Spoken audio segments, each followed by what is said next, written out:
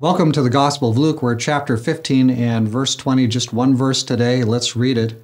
And he arose and came to his father, but when he was still a great way off, his father saw him and had compassion and ran and fell on his neck and kissed him.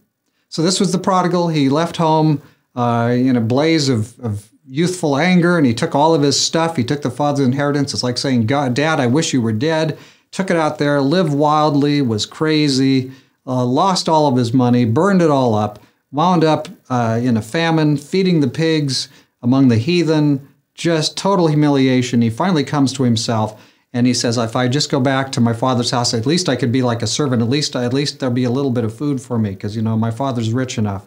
He goes back home. Now, notice the the situation here in our text. He arose and came to his father. Some people think about coming back to God and they never come back. They just they just think about it. But this guy praise the Lord, he actually gets up, he gathers up two or three things he had, and he goes and he goes to his father. He goes, so he knows the way home. He knows the way home. And when he was still a great way off, his father saw him. Why is that? Why would that be? Well, because as I'm sure you've heard someone talk about this before, the father was out watching for him day by day, watching for him. The father was hoping and praying and desiring and wondering and thinking and perhaps perhaps hopeful that out of some crazy providential leading that, that this, this son would find his way home. And one day, one day, the father's prayers are answered, and the son comes, comes. He sees, he sees him in the distance, and he knows kind of the way he walks, and he says, "That's him. This is an answer to prayer." And the father, you know, he didn't go go out there full of dignity and just say, uh, "Well, son, you know, have you? Huh, I told you so. Have you learned your?" It's none of that. He comes running to him, totally in, in, indignant it's totally beyond. It's not. A, it's not. An old man doesn't do that. But this man runs to his son. He gathers him up in a big old hug, and he just they weep together. And he's so glad to receive his son home.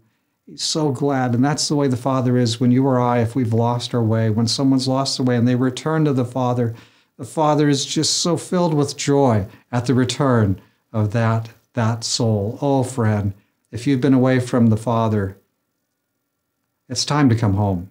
The world is not getting more righteous. We're moving toward the very end times day by day, kind of in marching rapid strides right now. And so it won't be that long until we have a literal, physical, visible, audible, personal second coming of Jesus. Friend, is your heart ready? Let's pray.